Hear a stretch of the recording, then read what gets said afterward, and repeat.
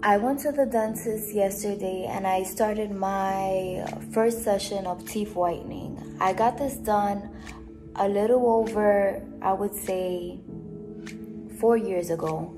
And I'm back here again in the Dominican Republic getting my teeth whitening by my fabulous dentist who I love. She's actually my cousin. So this time, because of my teeth sensitivity, we started it in parts. So yesterday was the top part and today it's gonna be the bottom part.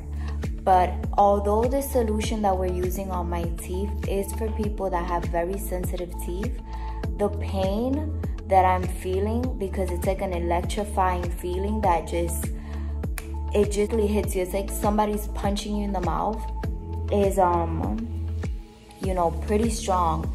So the top is supposed to go for three sessions and the bottom is supposed to go for three sessions as well. But because of this uncomfortable feeling that I'm, you know, feeling, I've decided to just go with one session on the top and then one session on the bottom. And then after that, she's gonna go in and she's actually gonna reshape all of my teeth.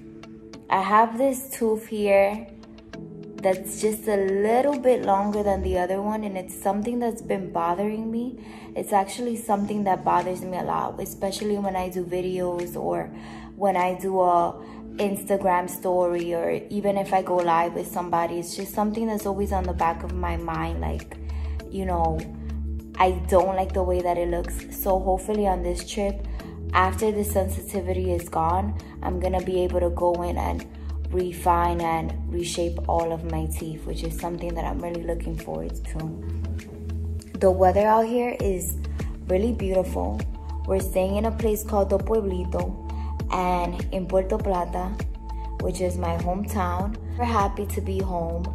Um, and I'm super happy to be vlogging and telling you guys my journey. I hope you guys like my videos and I'll speak to you soon. I'm gonna get my day started. So right now it's super early and we've decided because you know we're right close we're right near the beach. Literally the beach is outside.